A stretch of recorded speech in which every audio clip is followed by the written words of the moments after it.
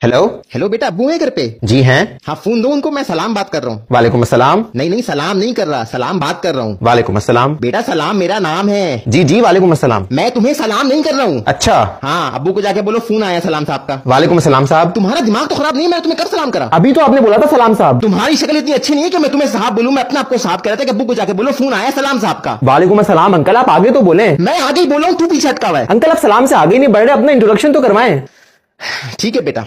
मैं तुझे अपना इंट्रोडक्शन करवा रहा हूँ गौर से सुन जी जी बोले मैं जब पैदा हुआ था तो मैं छोटा सा था जैसे तुम पैदा हुए थे छोटे से थे है ना जी बिल्कुल अब मेरे वालिदैन को मुझे मुखातिब करने के लिए मेरा कोई तो नाम रखना था जी जी बिल्कुल तो उन्होंने ये फैसला लिया कि आज से हम इस बच्चे को बोलेंगे सलाम फिर आपने उनको बोला वालेकुम अस्सलाम मैं उनको क्यों बोलूँगा वालेकुम सलाम उन्होंने नाम रखा सलाम यार तुम्हें बात समझ में आती है, तुम पागल हो क्या